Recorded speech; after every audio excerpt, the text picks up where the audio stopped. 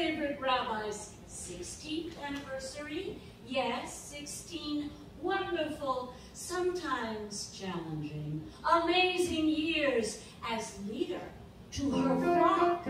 That's us. And lead soprano. There are no words to describe all she does. The congregants hug Rabbi Jill, even cleans the backstage. And when she's around, we see piles of scripture appearing right out of thin.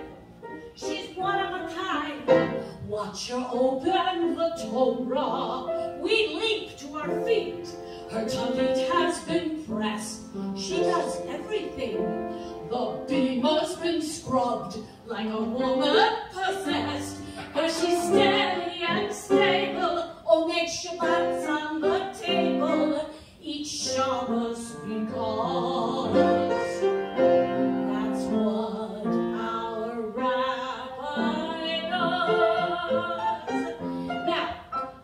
is not just a rabbi. She is not just a great soprano. She's a cook. She's a social worker. She's a grandma.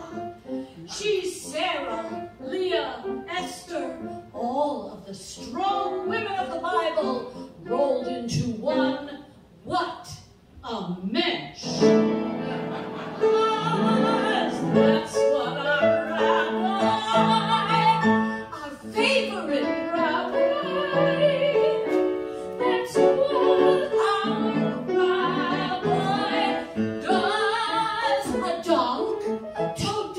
Thank you. Give it up for Rabbi Jill.